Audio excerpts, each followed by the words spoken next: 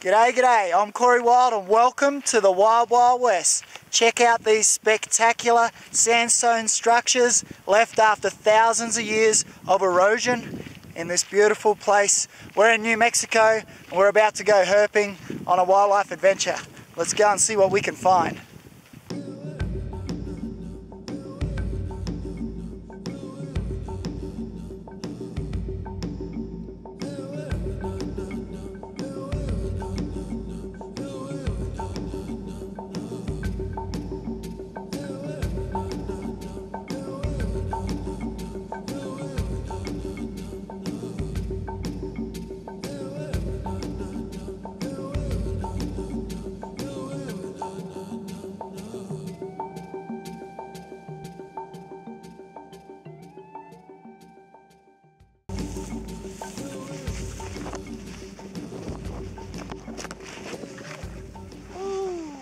Ah, check it out. Look at this awesome snake. Isn't it beautiful?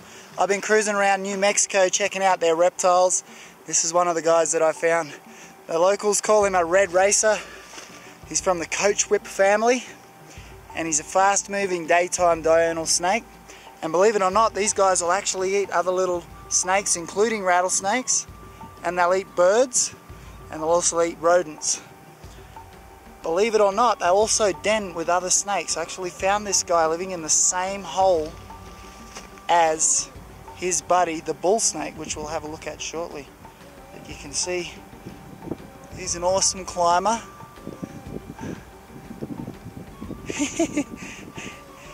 and it's, it's just amazing coming to these new places and finding these awesome new species. One of their defenses that they do have actually is they can excrete a musk musky smell which is a little on the nose a bit like tree snakes do. But uh, have a look at that beautiful red pink coloration there. Hey buddy. So what we're going to do is we'll take this guy and we'll uh, head over here to this spot.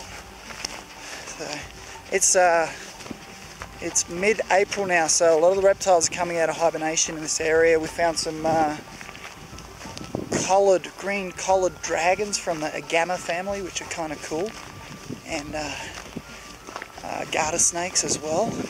So these snakes are a semi-arboreal species. They'll hunt in these trees and they'll pick off unsuspecting birds and they'll eat lizards as well. So what we'll do is we'll, we'll pop him here on this jumper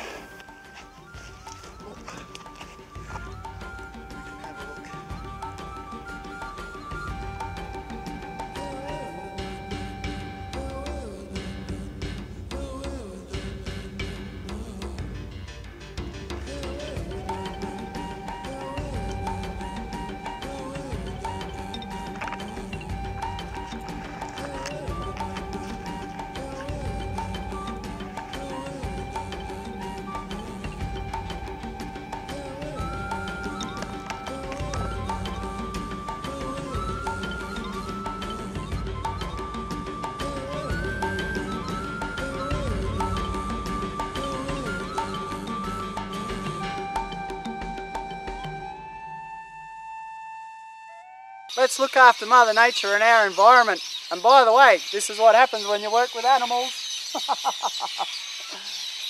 oh, they always seem to get the last laugh.